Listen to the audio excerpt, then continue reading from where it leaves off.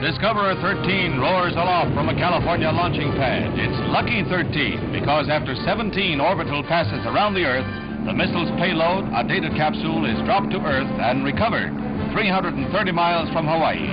The first man made object ever recovered from outer space. Ceremonies in the White House mark the historic feat.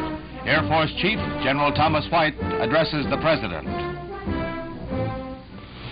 Within this capsule, Mr. President, are a great many telemetering equipments and other scientific devices.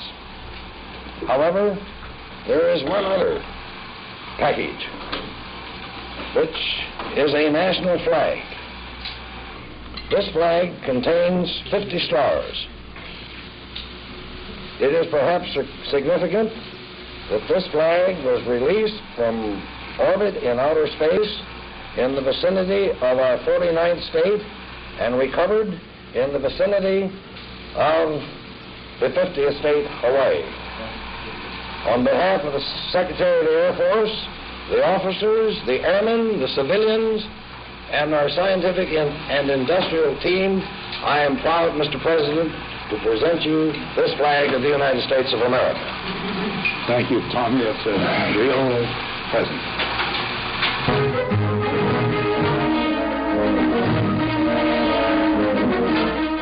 Closely following the recovery of the Discoverer capsule at Cape Canaveral, another historic satellite is ready for launching.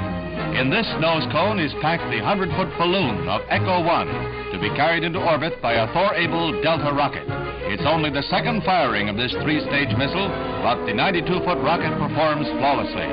This launching, closely followed by successful tests of Atlas and Polaris rockets, was a landmark in America's spectacular two-day display of progress in space research.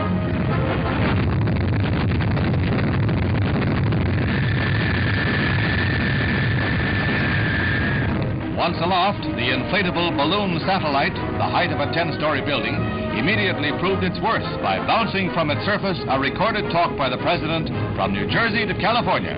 The radio mirror satellite, as bright in the northern sky as the brightest star, reflected Ike's recorded talk with impressive clarity and fidelity. In itself a major feat of America's spacemen, Echo 1 foreshadows a new era in global communications when a chain of sister satellites will closely link all parts of the globe.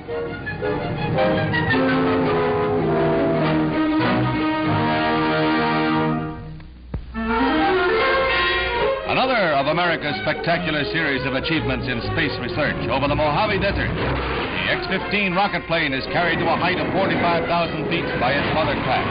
Then the rocket plane cuts loose, and on a four-minute burst from its rocket engine, it soars to a height of nearly 25 miles to the very fringe of outer space, higher than man has ever ventured before. At 131,000 feet, test pilot Major Robert M. White saw the Earth below, the blue of the sky, and the deeper hue of space itself.